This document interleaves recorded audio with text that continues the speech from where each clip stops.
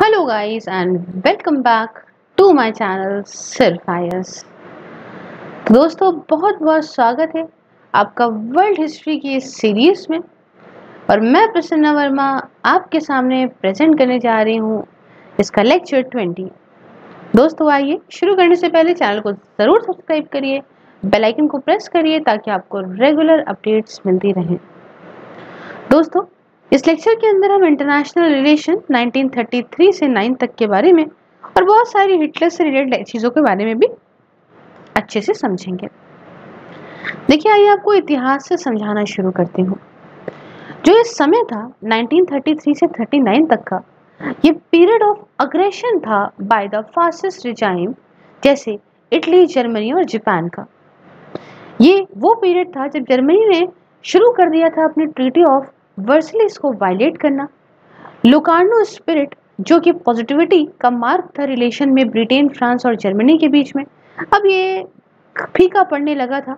After the great depression and Stresemann जो कि German foreign minister थे, जिनकी वजह से शांति आई, इतना अच्छा आया जर्मनी और फ्रांस के बीच में, इनकी डेथ हो गई थी 1929 में। तीसरा जो, ये जो डिकेड था ट्वेंटी सेंचुरी का, इसमें एक्सट्रीमिज्म की शुरुआत देखने को मिली एक्सट्रीम नेशनलिज्म की मिली एक्सट्रीमिज्म की नहीं एक्सट्रीम नेशनलिज्म की मिली जापान इटली और जर्मनी के अंदर। आइए, कुछ चीज़ें आपको बताना चाहती हूँ जो आप समरी कह सकते हो इन सारे इवेंट्स की। जैसे कि पहली बात कि जापान ने मैंशूरिया को इन्वेट कर लिया था 1931 में और लीग ऑफ़ नेशन पूरा कुछ नहीं कर पाया था फेल हो गया था फोर्स करने को जापान को इससे विड्रॉ करने को। दोस्तों, ये विजन आई के नोट्स हैं, बहुत इंपॉर्टेंट हैं, ध्यान से समझिएगा। 1933 में जर्मनी ने भी विड्रॉ कर लिया from the world disarmament conference और ये 1933 की बात है दोस्तों, कि जापान और जर्मनी ने भी विड्रॉ कर लिया from the League of Nations धीमे धीमे जो अथॉरिटी थी लीग ऑफ़ नेशन की, वो कम होने लगी। एंड 1939 आते आते ये एकदम बेकार हो गई थी बॉडी चौथा मतलब तीसरी बात ये, कि जर्मनी ने इंट्रोड्यूस करा कंस्क्रिप्शन इन 1935 ये सब इवेंट्स हम पुराने पढ़ चुके हैं। बहुत इंटरेस्टिंग है आपको बार बार याद आता रहेगा। चौथी बात कि स्ट्रेस ऑफ़ फंड 1935 का, जो कि इटली, ब्रिटेन और फ्रांस के बीच में हुआ था against the introduction of conscription by Germany पांचवी बात कि एंग्लो जर्मन नेवल अग्रीमेंट 1935 का, जिसने जर्मनी को अलाउ करा कि इसने सबमरीन्स वगैरह बना सके और लेकर आए ये जो end of Stresa of Front दोस्तों, फिर बात आती है मसूलनी ने इन्वेट करा अबेसिनिया को 1935 में। रीमिलिटराइजेशन हुआ राइन लैंड का 1936 में। रोम बर्लिन एक्सेस 1936 का। हिटलर ने साइन करा एंटी कमिटन पैक्ट को जापान के आ, साथ में 1936 में। स्पेनिश सिविल वॉर हुई 1936 की और जापान ने शुरुआत करी फुल इन्वेजन चाइना की 1937 में। इसके साथ साथ एंशलिस हिटलर ने अनेक्स किया ऑस्ट्रेलिया को 1938 में। उसके अलावा अगर मैं बताऊँ तो भाई आ, आपका म्यूनिक कॉन्फ्रेंस हुआ 1938 में जिसमें हिटलर को यहाँ मिला स्टूडेंटलैंड Czechoslovakia से on promise of not laying claim to any more territory of Czechoslovakia. इसके साथ हिटलर ने ब्रेक करा म्यूनिक पैक्ट को और इसी के साथ फिर से एनेक्स कर दिया शेजोस्लोवाकिया को और हिटलर ने डिमांड करा एक फ्री सिटी डांसिंग की पोलैंड की वॉज़ अगेन मतलब डांसिंग की फ्री सिटी हिटलर ने डिमांड करी और पोलैंड इसके अगेंस्ट था साथ में ब्रिटेन और फ्रांस ने अग्री करा कि हम सपोर्ट करेंगे पोलैंड को अगर जर्मनी अटैक करता है उसके अलावा हिटलर ने यहाँ पे साइन करा एक नॉन अग्रेशन पैक्ट को यूएसएसआर के साथ में 1939 में और अटैक कर दिया पोलैंड को। और लास्ट में ब्रिटेन ने डिक्लेयर करी वॉर जर्मनी के ऊपर और इसके साथ शुरुआत हो गई वर्ल्ड वॉर टू की। आइए जापानीज अग्रेशन के बारे में बताती हूँ। दोस्तों, यहाँ पे तीन इंपॉर्टेंट एक्ट हैं जापानीज अग्रेशन के इस पीरियड में। इसने इन्वेट करा था मैंशूरिया को 1931 में। अटैक करा नॉर्थ ईस्टर्न पार्ट को चाइना के 1933 में और ऑर्डर करा फुल इन्वेजन चाइना का 1937 में जिसी की वजह से सेकेंड सीनो जापान वॉर हुई थी 1937 से 45 तक, जिसकी वजह से, जिसे मर्ज करा गया था इस वर्ल्ड वॉर टू में, जो लास्ट करी 1945 तक। एक इवेंट होता है इन्वेशन ऑफ़ मैंशूरिया बहुत इंपॉर्टेंट है 1931 का। दोस्तों, अगर मैं इसके बारे में बताऊँ तो काफ़ी इंपॉर्टेंट है, यहाँ समझना कि क्यों आखिरकार जापान ने मैंशूरिया को अटैक करा? देखिए, जापान इकोनॉमिक स्ट्रेस में था ग्रेट डिप्रेशन की वजह से। इसका एक्सपोर्ट कम हो गया था, बुरी तरह से। एंड यहाँ पे प्राइस में जो बढ़ता हुआ प्राइस था वो भी यहाँ पे डिक्लाइन हो रहा था और मतलब जो प्राइस था राइस का चावल का ये भी यहाँ पे आ, आ, कम हो गया था। क्यों? क्योंकि चावल की बहुत हार्वेस्ट हो गई थी बहुत उपज हुई थी वहाँ पे। जापानीज की पॉपुलेशन वो थी अंडर ग्रेट इकोनॉमिक हार्डशिप साथ में चियांग काई शेक्स का जो इन्फ्लुएंस था वो भी बढ़ रहा था मैंशूरिया में जिससे खतरा था जापानीज इंटरेस्ट को मैंशूरिया में। जापान ने इन्वेस्ट करा था बहुत सारा पैसा इंडस्ट्री में और इंफ्रास्ट्रक्चर डेवलपमेंट प्रोजेक्ट में मैंशूरिया के अंदर, खासकर साउथ मैंशूरिया में। सिंस रूसो जापान वॉर जो 1945 की हुई थी, जब जापान ने यहाँ पे प्रिविलेज पोजीशन पाई थी साउथ मैंचूरिया की एंड पोर्ट आर्थर की बाय 1931 जापानीज को कंट्रोल मिल गया था मैंचूरियन के रेलवेज का और बैंकिंग सिस्टम का। इसलिए जो मिलिट्री अटैक था मैंचूरिया का वो ignore ignoring the reservation of the Japanese government फिर आया रिज़ल्ट क्या रहा जब इस मैंचूरिया को इन्वेट करा गया? दोस्तों जापान ने डिक्लेयर कर दिया मैंचूरिया को एक इंडिपेंडेंट स्टेट के तौर पे मैंचुको की। और अपना एक पपेट सरकार पपेट गवर्नमेंट वहाँ इंस्टॉल कर दी। लीग ऑफ़ नेशंस ने had opined that territory of Manchuria जो है, वो रहेगी अपने इसके एडमिनिस्ट्रेशन में बट जापान ने इस लीग को इग्नोर कर दिया। दोस्तों League could not act because US तो चाहता नहीं था वॉर जापान के साथ, और बिना यूएस के बैकिंग के ब्रिटेन और फ्रांस ने तो रिफ्यूज़ कर दिया, हम भी नहीं करेंगे, पैसा ही नहीं है। इसलिए ये एक एक्ट ऑफ़ अपीजमेंट बन गया जापान का बाय द वेस्टर्न पावर्स फिर आई बात इन्वेजन नॉर्थ ईस्ट चाइना की 1933 में। दोस्तों, जापान की सरकार ने अपने आप को एडवांस करा into the north eastern regions of China in 1933 में। यह एक्ट था, इसका कोई जस्टिफिकेशन नहीं था और ये पूरी तरह से एक एक्ट ऑफ़ अग्रेशन था। जापान यहाँ पे ऑक्यूपाई कर पा रहा था एक भारी मात्रा का एरिया बाय 1935 एंड इसने फ़ायदा उठाया सिविल वॉर का जो कि आपका Kuomintang government this is K M T of Chiang Kai Shek और Chinese Communist Party of Mao दिजाओं के बीच में चल रही थी, जो आज आप रिलेट कर पा रहे होगे तवा, जो है ताइवान और चाइना से। खैर, फिर हुआ फुल स्केल इन्वेजन चाइना का 1937 में। तो दोस्तों, जब साइन करा एंटी कमिटन पैक्ट को विद जर्मनी 1936 में तो जापान ने प्लान करा कि हम क्यों ना फुल इन्वेजन कर लें चाइना का।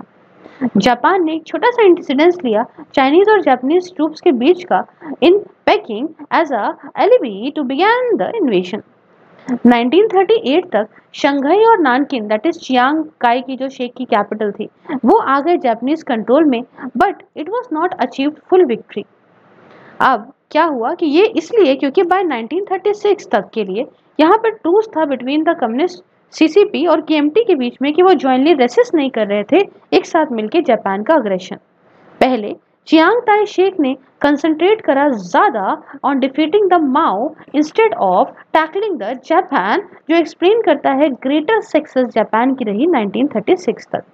साथ में रशिया ने भी मदद करी चाइनीज़ को बट इसे कुछ फुल इंगेज नहीं हुआ बिकॉज़ ये खुद भी नहीं चाहता था कि फुल स्केल वॉर हो इसकी जापान के साथ में। तो मोटे मोटे तौर पे, अगर हम देखें वर्ल्ड वॉर टू की वजह तो यहाँ पे जापान, उस समय जापान ने कंट्रोल कर रखा था ज़्यादातर east China while Chiang Kai Shek और माओ ने कंट्रोल कर रखा था सेंट्रल और वेस्टर्न पार्ट को। ये आर्ग्यू करा जाता है। Although League of Nation ने कंडम करा जापान को बट वो इतना स्ट्रॉन्ग नहीं था कि एक फर्म एक्शन लिया जा सके because US policy of isolation जो कि हम बार बार डिस्कस करते हैं यूएसएसआर नहीं चाहता था फुल स्केल वॉर जापान के साथ। और ब्रिटेन और फ्रांस बहुत बिज़ी थे कॉपी करने में आ, मतलब बाहर निकलने में कोपिंग करने में विद द हिटलर आइए अब मसूलीस की फॉरेन पॉलिसी की बात करते हैं। दोस्तों 1919 से 24 के बीच में मसूलिस पावर में आए 1922 में। एंड जल्द ही इन्होंने शुरू करा, यहाँ पे इम्प्लीमेंट करना एक अग्रेसिव फॉरेन पॉलिसी को। इन्होंने बॉम्ब करा ग्रीस को over the Corfu incidents in the 1923 जैसे हमने पहले आपको डिस्कस किया है। जहाँ पे ग्रीस को फोर्स करा गया था फुल कंपनसेशन देने के लिए, जो कि इटली डिमांड कर रहा था। ये यही की बात है कि जो कॉन्फ्रेंस थी एम्बेसडर की इसे ओवर रूल करती थी ओपिनियन लीग ऑफ़ नेशंस का और साथ में फ्यूम की बात करें तो ये 1924 इटली ने इन्वेट करा और साथ में यहाँ पे टुक ओवर करा इंडिपेंडेंट स्टेट ऑफ़ फ्यूम को। 1920 के बाद दोस्तों, अगर बताऊँ तो टेरिटरी फ्यूम की, वो यही कंटेंशन की वजह बनी between the Yugoslavia and Italy के बीच में। कॉम्प्रोमाइज के तौर पे एक ट्रीटी ऑफ़ रेपेलो को किया गया 1920 में, जिसकी वजह से क्या था कि फ्री सिटी ऑफ़ फ्यूम को इसने प्रोवाइड करा, जिसे यूज़ करी जाएगा दोनों ही इटली और युगोस्लाविया के द्वारा। दोस्तों, अगर वहाँ बात करें तो इसने ये एग्जिस्ट करी as a free state from 1920 से लेके 24 तक के लिए। जब तक के लिए इटली ने अपने ट्रूप्स को नहीं भेजा और युगोस्लाविया ने अग्री नहीं कर लिया फ्यूम का एनेक्सेशन बाय इटली आगे बात बढ़ती है, ये तो हमने 1919 से 1924 तक बताया। अब उसके बाद 1924 से 34 तक दो कंसर्न्स ने डोमिनेट करा इटालियन फॉरेन पॉलिसी को इन सारे सालों में। पहला तो Italy, France rivalry because France जो था वो अलाय था युगोस्लाविया का। रिकॉल याद करिए लिटिल एंटिटी जो मैंने बताई लास्ट लेक्चर में। और इटली जो है, इसकी भी एक कॉम्पिटिंग इंटरेस्ट थी with the France for influence in the Mediterranean and the Balkans दूसरी बात, इटली को ये डर था कि जर्मनी, हो सकता है कि वो अनेक्स कर ले ऑस्ट्रिया को, जिसकी वजह से क्या हो कि which lay in the north east of Italy and ये एक्ट करे एक बफर स्टेट के तौर पे इटली और जर्मनी के बीच में। फिर आई कहानी यहाँ पे आगे बढ़ के लोकानो ट्रिटीज और इटली के बारे में। दोस्तों, इटली ने पार्टिसिपेट करा लोकानो ट्रिटीज ऑफ़ 1925 में। अंडर द लोकानो ट्रिटीज जिनको साइन करा गया था outside the ambit of the League of Nations उसमें देखें तो जर्मनी ने रीअफर्म करा डीमिलिटाइजेशन ऑफ़ राइनलैंड को। साथ में जर्मनी फ्रांस और बेल्जियम ने प्रॉमिस करा कि हम एक दूसरे के फ्रंटियर्स को रिस्पेक्ट करेंगे। इटली और ब्रिटेन एक गारंटर के तौर पर रहे। और in the event of aggression कोई भी अगर करता है इन तीनों के द्वारा, जैसे फ्रांस बेल्जियम जर्मनी के द्वारा तो सारे ही जिसको भी विक्टिम जो भी होगा, उसकी मदद करेंगे बाकी लोग। यहाँ पे एक अग्रीमेंट था जर्मनी और पोलैंड और शेजोस्लोवाकिया के बीच में, जिस एग्रीमेंट के माध्यम से एग्रीमेंट ऑफ़ फॉर आर्बिट्रेशन था डिस्प्यूट्स का, कि भाई बिचौलिया बनेंगे with respect to boundary issues in arbitration tribunal या फिर permanent court of international justice में। बट जर्मनी ने गारंटी नहीं करा अपने फ्रंटियर को पोलैंड और शेजोस्लोवाकिया से और फ्रांस ने अग्री करा कि हम पोलैंड या शेजोस्लोवाकिया की मदद करेंगे अगर इसे जर्मनी अटैक करता है। बट इटली बहुत डिसअपॉइंट था, क्योंकि इटली ऑस्ट्रेलिया फ्रंटियर्स को लेके, जो कि गारंटी करे गए थे इसे लोकार्नो ट्रिटीज के द्वारा। आई कहानी आगे बढ़ती है, और अब इटली इन बालकांस के बारे में बताते हूँ। दोस्तों, हुआ क्या कि यहाँ पे ड्यूरिंग दिस डिकेड इटली ने कोशिश करी कि अपना इन्फ्लुएंस ये बढ़ा दे बालकांस में बाय हैविंग अच्छे relations with the Albania Bulgaria and Greece दोस्तों अल्बेनिया जो है, ये एक साउदर्न नेबर होता था इटली का, जो कि आ गया था इकोनॉमिक कंट्रोल ऑफ़ इटली में, क्योंकि इकोनॉमिक और डिफेंस पैक्ट जो साइन हुए थे इन दोनों के बीच में, उसकी वजह से। अल्बेनिया, ये अगेंस्ट था युगोस्लाविया के एंड ये सर्बिया ही वजह था which was now part of मतलब अब युगोस्लाविया जो इसने को मतलब इच्छा जताई थी कि territory of Albania after the first Balkan war 1921 की। बट अल्बेनिया को एक इंडिपेंडेंट स्टेट बना दिया गया ड्यूरिंग द पीस सेटलमेंट और जो इन्फ्लुएंस था अल्बेनिया के ऊपर provided Italy with control in the area around the Adriatic sea ठीक है, इससे इटली को ये फ़ायदा हुआ। फिर आया इटली और ब्रिटेन का रिश्ता। ठीक है, इसकी बात करें तो इटली ने कोशिश करी कि एक अच्छे रिश्ते हो जाएँ इसके ब्रिटेन के साथ में, खासकर कॉलोनीज के सवाल पे।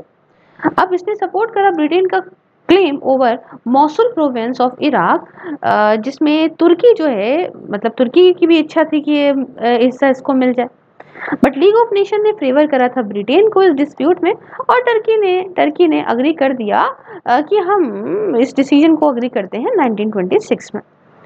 बदले में ब्रिटेन ने एक पार्ट सोमन लैंड का इटली को दिया और फर्दर इटली ने साइन करा एक नॉन अग्रेशन पैक्ट को यूएसएसआर के साथ में 1933 में।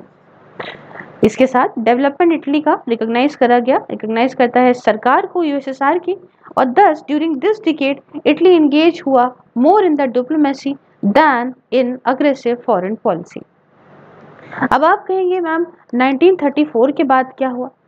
तो भाई 1934 के, पहले यहाँ पे समझिए कि अग्रेशन पैक्ट हुआ था विद यूएसएसआर इन 1933 ठीक है? ये 93 लिखा हुआ है सॉरी यहाँ पे 1933 है, ठीक है?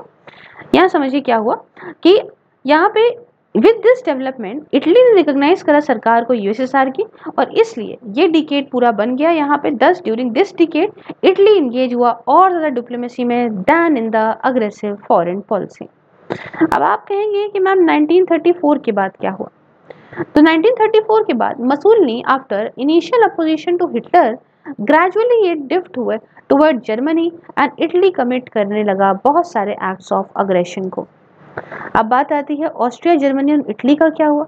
तो मसूली ने कोशिश करी मज़बूत बनाने को ऑस्ट्रिया को against Nazi Germany by supporting the anti Nazi government जो कि ऑस्ट्रिया की थी by signing the trade agreements 1934 की बात है, जब ऑस्ट्रियन चांसलर को मर्डर कर दिया गया नाजिस्ट प्रोसेसर्स के द्वारा और इसी के बाद मसूली ने भेजे ट्रूप्स यहाँ पे इटली ऑस्ट्रिया फ्रंटियर में ताकि ये प्रियम्प्ट कर सके किसी भी जर्मन के अटैक को, अगर वो आते हैं अनेक्स करने के लिए ऑस्ट्रिया को।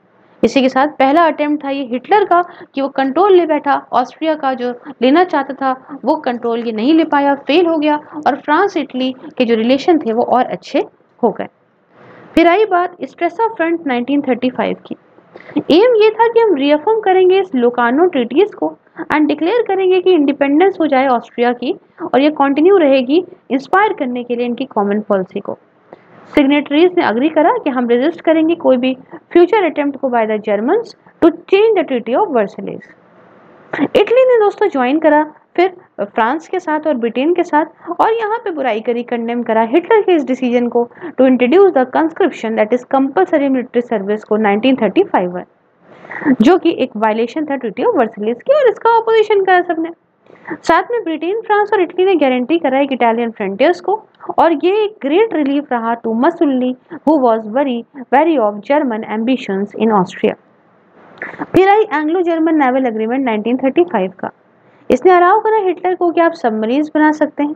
इस इवेंट के बाद मसूली इसका ट्रस्ट ब्रिटेन से बिल्कुल ख़त्म हो गया। और फ्रांस अब जो है, इसने ये भी डिसअपॉइंट हो गया था ब्रिटेन से। और एंग्लो जर्मन नेवल अग्रीमेंट यहाँ पे ख़त्म हो गया। ना इसने ब्रोक कर दिया स्ट्रेट ऑफ़ फ्रंट को। ये एक डिप्लोमेटिक विक्ट्री रही हिटलर की। और इसके बाद impress by Hitler success Mussolini ने धी मतलब मसूली ने धीमे धीमे ये प्रो हिटलर खुद को बनाया मतलब pro gradually became pro Hitler अब इन्वेजन ऑफ़ एबिसिनिया की बात करते हैं 1935 की।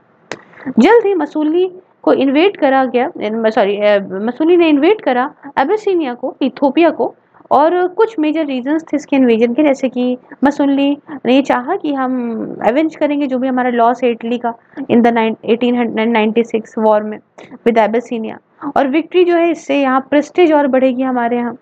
मसूली ने चाहा कि हम डाइवर्ट करते पब्लिक का एडिक्शन जो अटेंशन है पब्लिक का from the local problems and popularity अपनी बढ़ा लेते हैं।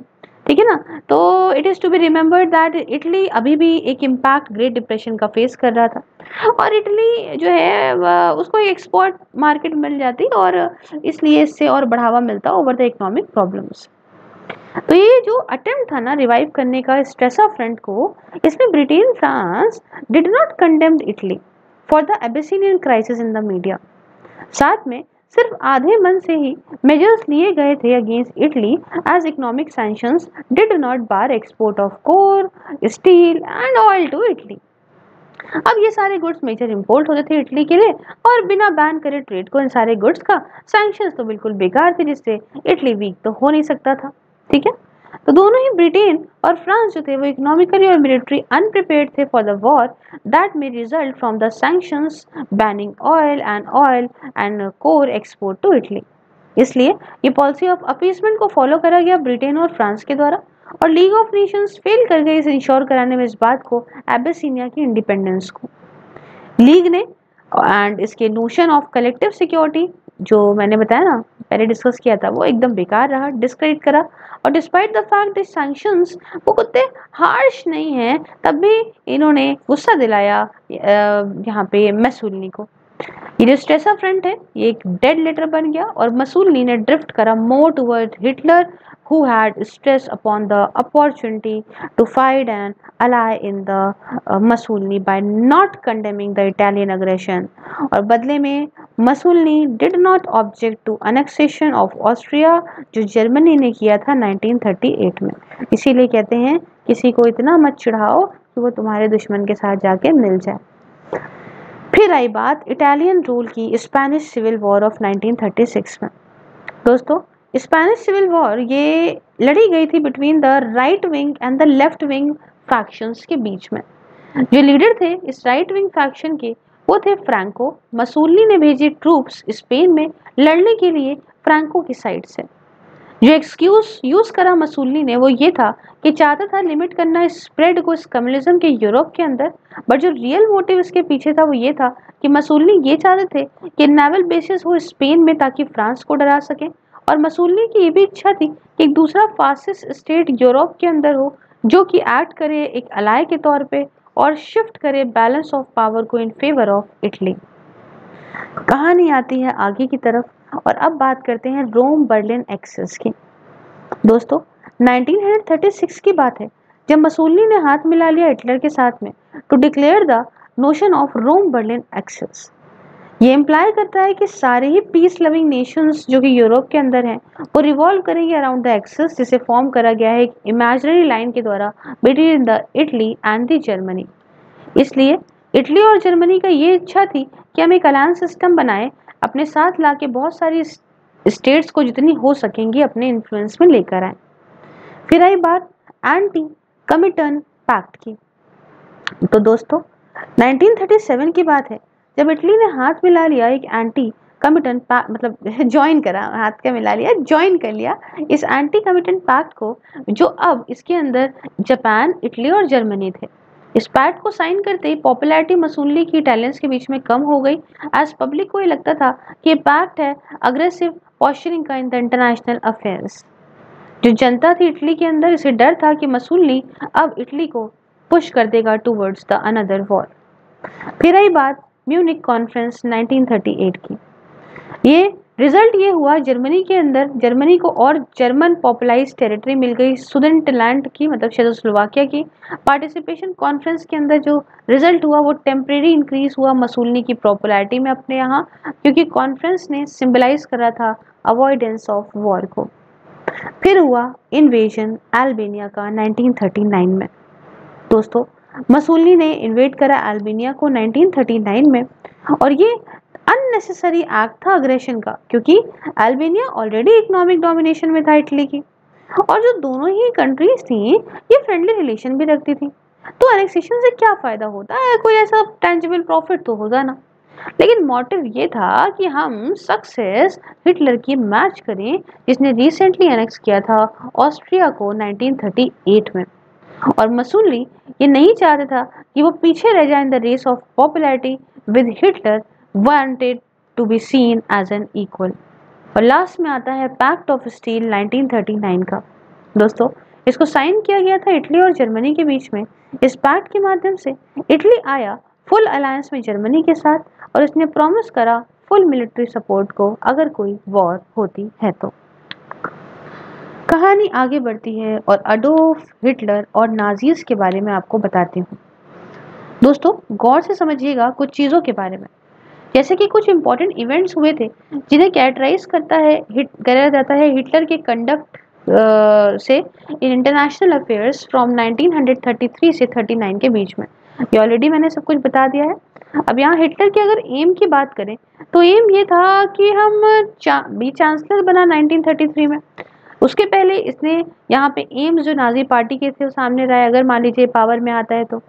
इसने बताया कि हम और सामने क्या इच्छाएँ हैं मेरी। और हिटलर ने ये इच्छा जताई कि अब जर्मनी को एक बड़ी पावर बनाएगा और अपनी जो ग्लोरी थी वो वापस से रिस्टोर करेगा इसकी। आइए कुछ इसके एम्स क्या थे तो वो आपको बताती हूँ। ट्रिटी ऑफ़ वर्सलीस को डिस्ट्रॉय कर देगा, एक स्ट्रॉन्ग आर्मी बनाएगा, सारे जर्मन्स को लेकर आएगा inside the third Reich by annexing Austria और पार्ट ऑफ़ शेजोस्लोवाकिया को और पोलैंड को, दोनों ही के पास एक इंपॉर्टेंट जर्मन माइनोरिटी पॉपुलेशन थी माइनॉरिटी पॉपुलेशन थी। और रिकवरी करेगा सार की डांसिंग की और पॉलिश कॉरिडोर की। तो अब ज़्यादातर जो एम था, उसे तो अचीव कर लिया गया 1938 तक, बिना किसी वॉर के। एंड इसलिए सवाल अब उठा कि क्यों आखिरकार वर्ल्ड वॉर टू जो है होगी एंड इसे क्यों अवॉइड कर रहे हैं, अभी तक कर रहे हैं? इससे क्या हुआ? This lead us to the second set of aims तो एक तो इच्छा हो गई ना तो अब आप कहेंगे, क्यों फिर वर्ल्ड वॉर वन हुई? वर्ल्ड वॉर टू हुई? तो रीजन ये था ये कुछ और भी चीज़ें थी यहाँ पे, जो कि कुछ डिसग्रीमेंट रहे थे स्कॉलर्स के साथ में. आइए समझाती हूँ। पहला पहला तो रहा, भाई, ये देखो यहाँ पे लेबेस्ट्रियम लिविंग स्पेस जिसे बोलते हैं, ठीक है? यहाँ पे अगर देखो तो अगर आपको मिल जाएगा। तो भाई कुछ स्कॉलर्स ये कहते हैं कि हिटलर का एम एनेक्सेशन का ऑस्ट्रिया का और सेजोस्लोवाकिया का पार्ट और पोलैंड का, ये तो सिर्फ़ शुरुआत थी। और इसने, इसका जो इच्छा थी वो ये था कि हम पूरा ये जो होल सेजोस्लोवाकिया और पोलैंड है, सब पे कब्जिया लेंगे।